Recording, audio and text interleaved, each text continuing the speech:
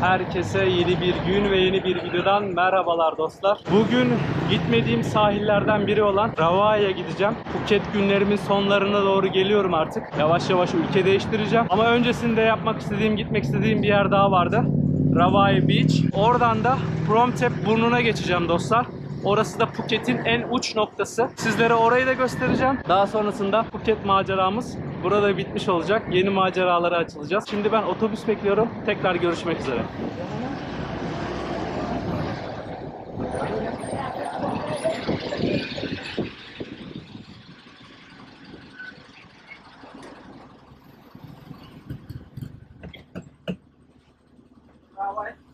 Krap, Rawai, Rawai, Rawai. Ya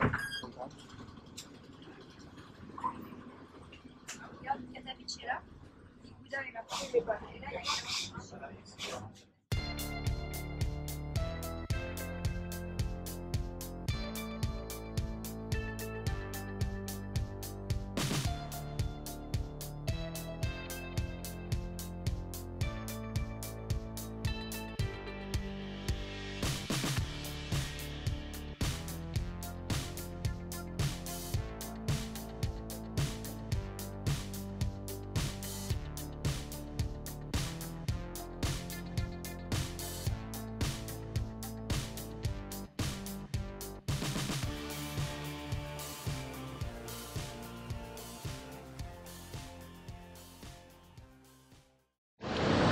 Evet dostlar tekrardan merhabalar. An itibariyle geldim. Ravai bölgesindeyim. Ravai Beach'teyim. Yolculuk yaklaşık 1 saat kadar sürdü dostlar. Belki de 1 saat 15 dakikadır. Tam emin değilim. Thank you. 1 saat kadar sürdü ve 100 baht ücreti var dostlar. Bu e, havalimanına gittiğim otobüsün aynı zaten. Klasik sabit fiyat değişmiyor. Kişi başı 100 baht. Ee, size şöyle hafiften etrafı göstereyim. Ama ilerledikçe daha da güzel olacağını düşünüyorum. Çok eskiden bir kere gelmiştim ama inanın hatırlamıyorum neresinde ne vardı ne yoktu. Şöyle ufaktan göstereceğim sizlere. Ravai Beach'i.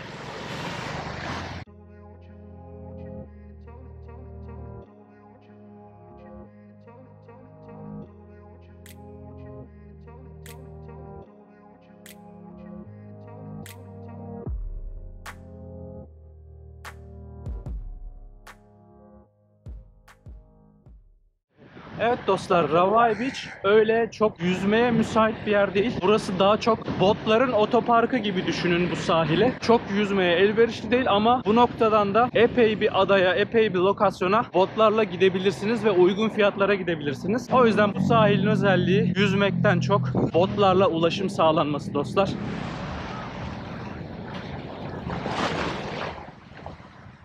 Dostlar hem size şöyle Ravai sahilini göstereyim. Hem de Ravai ile ilgili, Ravai sahili ile ilgili ufak bilgiler vereyim. Bu sahil Phuket Adası'nın en güneyindeki sahil dostlar. En uç noktası Phuket Adası'nın. Ve burası turistik değil dostlar. Çünkü dediğim gibi burada yüzme şansımız çok olmadığı için çok fazla da turistik bir yer değil. Daha çok lokal insanların, yerel insanların yaşadığı bir sahil. Yani burada Tayland'ın güney kısmının yerel yaşam tarzını çok iyi bir şekilde gözlemleyebilirsiniz. Daha önce de belirttiğim gibi dostlar, burası botların bir nevi otoparkı olduğu için hatta şurada da görebiliyorsunuz bakın bir grup tahmin ediyorum ki Çinli. Burada botlarla etraftaki adalara çok daha rahat, çok daha kolay ulaşabiliyor. Bunun yanı sıra dostlar, burası balıkçı kasabası olduğu için Ravai. Burada çok güzel deniz ürünleri ve taze deniz ürünleri bulmanız kuvvetle muhtemel. Hatta bununla ilgili deniz ürünleri pazarı da var burada. Çok meşhur. Eğer deniz ürünlerini seviyorsanız oraya gidip taze taze hatta kendin pişir, kendin ye dahi yapabiliyorsunuz dostlar. Ravai plajı ile ilgili söyleyebileceğim son şey de ulaşımı ile ilgili olsun. Ulaşımı smart buslarla Patong'dan buraya smart buslarla 100 baht karşılığında gelebiliyorsunuz dostlar. Patong'dan burası yaklaşık 17 kilometre. Yani 1 saat 1 saat 15 dakika civarında bir zamanınızı alacak eğer ki Patong'dan buraya gelmek isterseniz.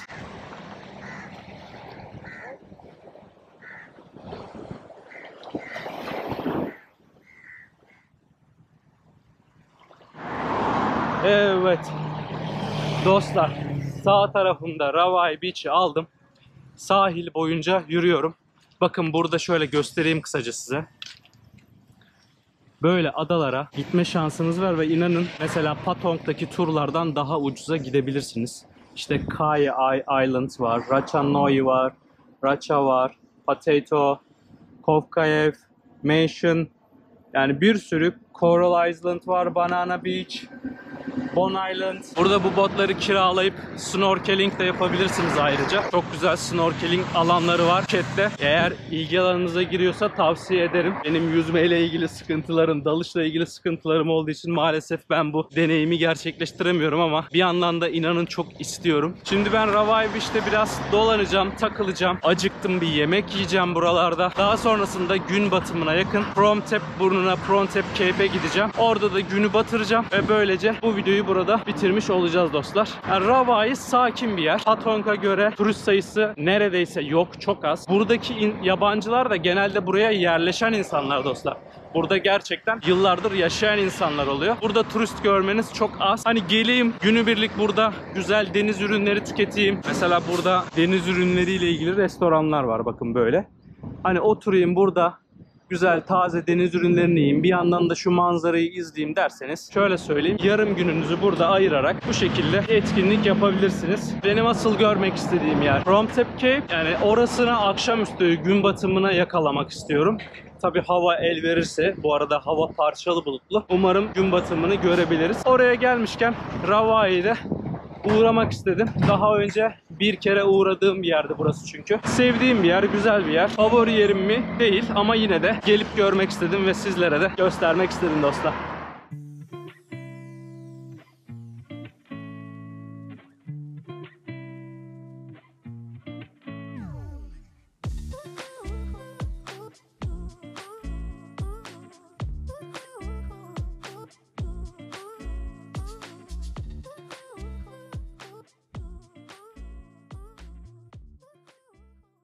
Dostlar bahsettiğim deniz ürünleri pazarına geldim. Şöyle sizlere göstereyim. Üzerinde fiyatları yazmıyor ama gördüğünüz gibi hepsi canlı canlı ve taptaze.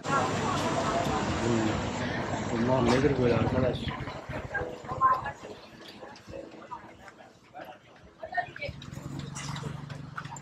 Valla üzerlerinde fiyatları yazmıyor dostlar. Tayıca yazılar var. Onu da ben anlamıyorum. Burası zaten lokal bir pazar.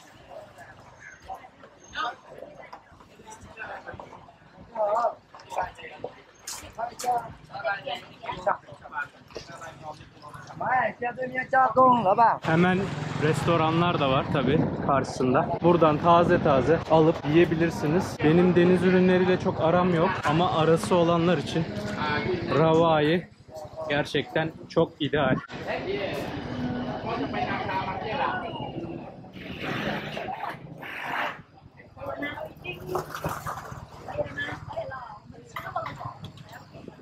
Bu pazar böyle biraz daha uzayıp gidiyor. Pazar tam olarak iskelenin hemen yanında. Ravai iskelesine geliyorsunuz. Hemen sola doğru devam ediyorsunuz. Orada zaten cadde boyunca balık pazarlarını göreceksiniz. Daha doğrusu balık pazarı demeyeyim de deniz ürünleri pazarını göreceksiniz dostlar. Fiyatlarını gördüm.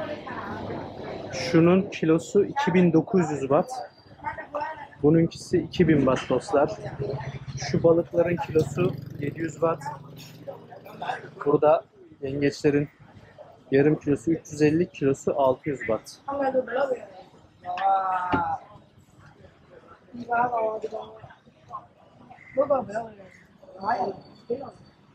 Ve şurada karides bunlar sanırım. Yarım kilosu 450, kilosu 800 baht.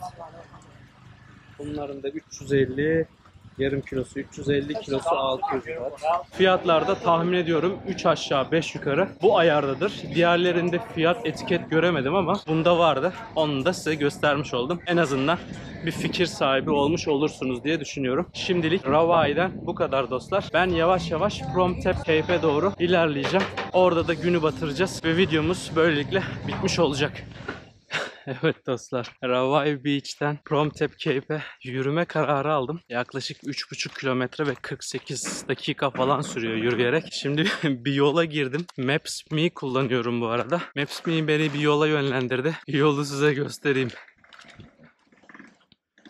Yani böyle bir yoldan gidiyorum dostlar. İncin top oynuyor. Gene sıkıntılı yollardan geçiyoruz bakalım. Ben yoluma devam ediyorum dostlar. Yaklaşık 17 dakikalık falan yolum kaldı. 1 kilometre falan yolum kaldı. Orada tekrar görüşmek dileğiyle. Dostlar az önce girdiğim yer özelmiş ve kapalıymış. Vallahi rica minnet çıktık. Kapıyı açtırdık da sıkıntı ya. Vallahi bu Maps mi Google Maps'ten daha beter çıktı. Neyse moral bozmak yok yola devam.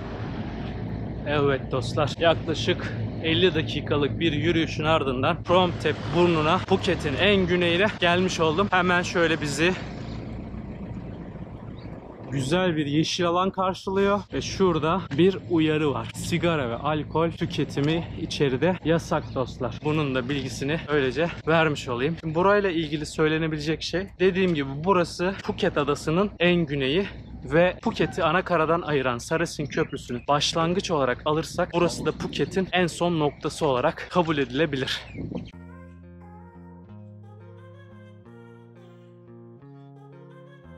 Tayland'da eşsiz bir tatil yeri ve en iyi gün batımlarını arıyorsanız Promtep Burnu en karşı konulmaz noktalardan birisi. İngilizce ismi ile Tanrı'nın burnu. Thai ismi ile Laem Promtep yani en güzel manzaralı burun anlamı taşıyor. Hawaii'de bulunan bu burun Phuket adasının en güney kısmındadır. Bu kayalardan oluşan kara parçası Andaman denizine dökülüyor. İkonik statüsü nedeniyle Phuket'in en popüler noktalarından biri haline geliyor. Yerli ve yabancı birçok insan ellerinde kameralarla batıya doğru gün batımının tadını çıkarmaya hazır halde buraya geliyorlar. Burası yüksek konumu ve yakınındaki birkaç ada nedeniyle gün batımını hayranlıkla izlemek için en iyi yer.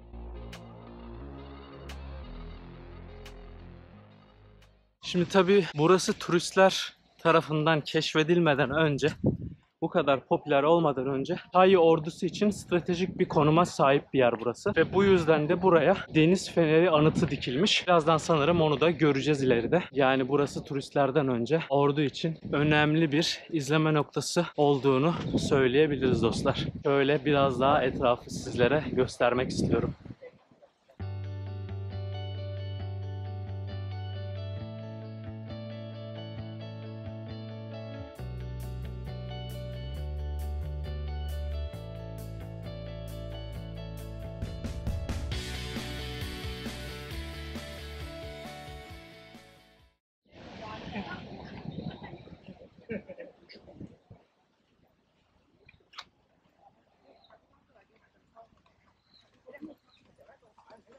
Evet dostlar şimdi merdivenlerden yukarıya doğru çıkacağım ve merdivenlerin sonunda bizi bir deniz feneri müzesi ve bir de anıt karşılayacak. Bu anıtın şöyle bir özelliği var. Ee, İnternetten biraz araştırdım, okudum. Önemli bir şahsiyet için yapılmış ve Tayland'ın genelinde birden fazla var bu yapıtlar. Ve bu anıt Amiral Krom Luang Chumpon adına yapılmış dostlar. Tay tarihinde önemli bir general. Ondan da kısaca bahsedeceğim sizlere.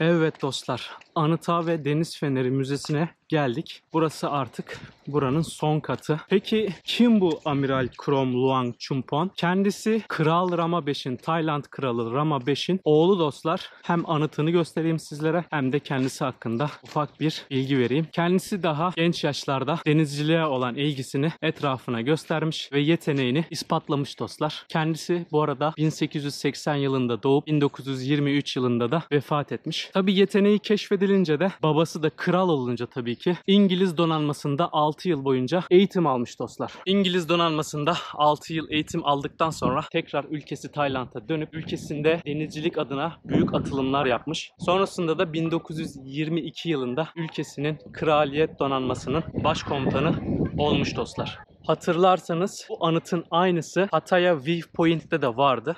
Ben o zaman tabii anlayamamıştım. Kim olduğunu çözememiştim. Ta ki buraya gelene kadar artık bu anıtın kime ait olduğunu ve Tayiller için neden çok önemli olduğunu daha iyi anlayabiliyorum. Şimdi dostlar anıtı zaten gördünüz. Tekrar göstereyim şöyle. Anıtın yanında gördüğünüz gibi şöyle bir müze var. Deniz Feneri Müzesi olarak geçiyor burası. Burası hiçbir şekilde deniz feneri olarak kullanılmamış dostlar. Sadece ve sadece müze olarak kullanılmış ve 1996 yılında 2016 yılında ölen Kral 9. Rama adına yapılmış bir müze burası. Tabi Tayland'ın meşhur yapılarında böyle sarı sarı renkler gördüğünüzde aklımıza hemen daha doğrusu benim aklıma hemen şu soru geliyor. Acaba saf altından mı? İnanın bilmiyorum. Bunun hakkında da herhangi bir bilgi bulamadım. Evet dostlar ben şimdi e, içeriye gireceğim. Müzenin içerisini de size göstereceğim. Şöyle de göstereyim. Ayakkabılarımızı çıkarmamız gerekiyor. Hemen şöyle çıkarayım. Bu arada bu arada sizlere göstermemiştim. İyi de oldu. Sonunda terliklerimi değiştirdim dostlar. Böyle maviş maviş bir terlik aldım. Şükürler olsun. Artık ayağım yara bere olmuyor. Gayet güzel yürüyebiliyorum. Sıkıntı yok. Müzenin girişi böyle dostlar.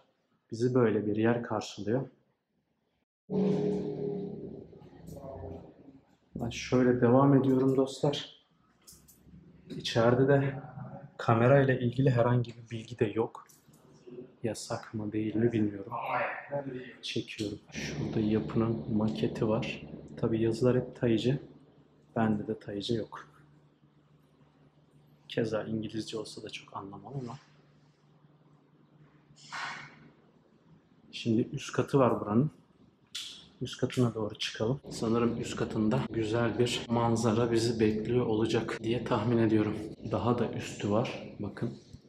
Ama kapalı. Çıkamıyoruz. Yine burada Tayland'ın deniz kuvvetlerinden bazı komutanların resimleri ve isimleri var.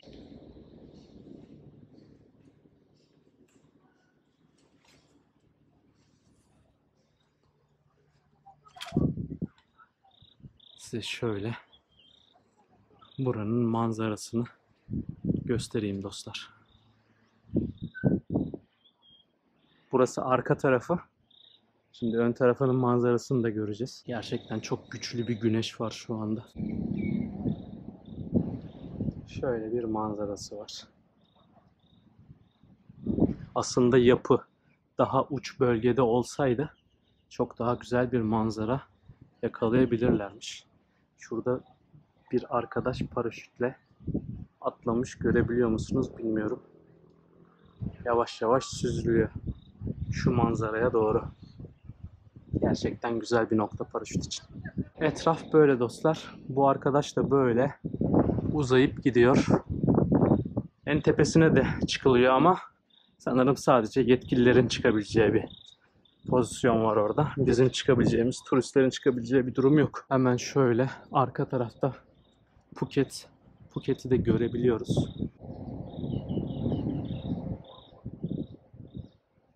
Bir nebze de olsa Phuket'i de size göstermiş olayım. Evet dostlar, anıtı gördük. Müzenin de içine dolaştık. Zaten çok da küçük bir müzeydi. Şimdi turistlerin izlediği bir güzergah var. Aşağı doğru gidiyor. Oraya gideceğim. Bu terliklerle oraya doğru inmeye çalışacağım. Daha önce inmiştim buraya bir kere geldiğimde. Yıllar öncesinde. Şimdi tekrar inmeyi deneyeceğim. Umarım bir aksaklık, bir kaza çıkmadan size aşağı inerkenki görüntüleri de gösterebilirim. Şimdilik hoşçakalın dostlar. Abimiz akrobasi hareketler yapıyor. Havada rüzgarlı. Umarım bir kaza yaşamaz. Ama çok keyifli görünüyor gerçekten. Riskli de olsa. Bu arada inmeye çalışacağım yer şöyle göstereyim dostlar. Şu bölge. Tabii önceden inilebiliyordu. Şu anda iniliyor mu onu da bilmiyorum. Şimdi aşağı doğru gideyim bakalım göreceğiz. İnilebiliyor mu, inilemiyor mu? Hep beraber göreceğiz. Evet dostlar inilebiliyor. Hatta şurada uyarımız da var. Kaygan olduğu söyleniliyor. Dikkat etmemiz gerektiği söyleniliyor. Buradan aşağı iniliyor. Ama ben şu anda saat burada 4 dostlar. Şu anda inmeyeceğim dostlar. Zaten buralarda vakit geçireceğim birkaç saat daha. gün batımına kadar. Gün batımı yaklaştığında ineceğim aşağıya doğru. Şimdilik kendime bir yer bulup dinleneceğim. Tekrar gün batımına yaklaştığımızda görüşmek üzere. Evet dostlar, görmeyenleriniz ve bilmeyenleriniz için Tayland'ın şu anki kralı ve kraliçesinin resmi var burada. Bu kral da e, o bahsettiğim Deniz Feneri Müzesi var ya, Kral Rama adına yapılmıştı. Onun onuruna yapılmıştı demiştim. İşte Kral Rama 9'un oğlu bu dostlar, şu anki kral. Evet dostlar geldik merdivenin başındayız. Etrafta resim çektiren çok insan var. Bu arada yolda böyle epey bir tehlikeli. Dikkat etmem gerekiyor. Ayağımda bu terliklerle. Şimdi uca doğru gideceğim. Ve orada bir yerde de sizlere veda edeceğim. Bu arada buraya kadar gelmişken her ne kadar aşağı inmek zorlayıcı da olsa mutlaka o uca gidin dostlar. Orayı da bir görün. Oranın atmosferi gerçekten üst taraftan daha farklı. Bence daha güzel. Sadece biraz meşakkatli bir yol. Ama Akın kardeşiniz, Akın dostunuz artık meşakkatli yolların ustası oldu yani. Ada ada, viewpoint dolana dolana. En sonunda hem de bu terliklerle Tarzan'a dönüştüm yani. Her yere tırmanabilirim, her yerden inebilirim. Sıkıntı yok. Deyip tam da şu anda düşüyormuşum ya. Neyse dostlar aşağıda görüşürüz.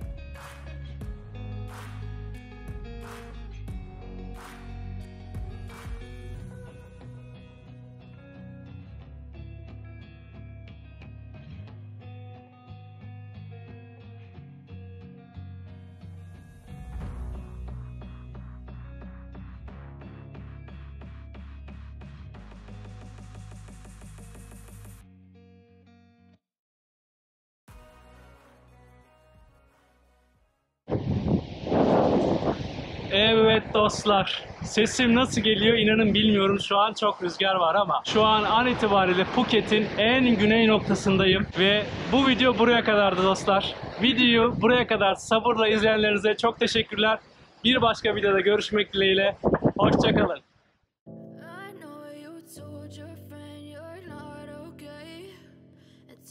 What's wrong and why you never said you felt that way. Guess you're trying to stay strong and fake a smile until I look away. But I've known you too long, it hurts to watch your blue eyes fade to gray as you fade away.